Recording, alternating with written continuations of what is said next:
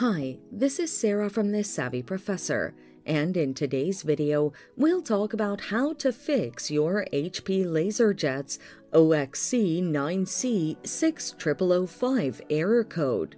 But first, what does this error code mean? Your printer displays this error code when stuck in manufacturing mode or MFG mode.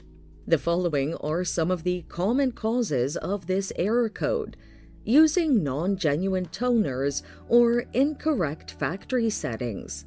Now, let's look at the best solutions you can apply to fix this error. Hard reset and power drain the printer. With the printer in idle mode, disconnect the power cord from the device and outlet. Wait 60 seconds, and as you wait, press the power button to drain the remaining power. Reconnect the power cord and plug in your device.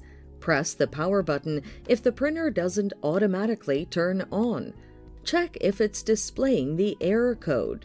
Cold reset the printer. Turn off your printer. Power it on and hold the checkmark button when the memory count begins. Hold down the checkmark button until the three control panel lights remain on. Select the language and use the arrow buttons to navigate to the Cold Reset option. Select this option and wait for the printer to perform a cold reset. It's worth noting that these steps vary from one model to another, as such, consult your manual for precise instructions. Replace the non-genuine toner.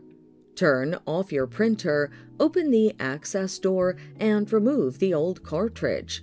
Align your genuine HP cartridge and insert it. Power on your printer and test it. If the error persists, call a technician. Thanks for watching. Till next time.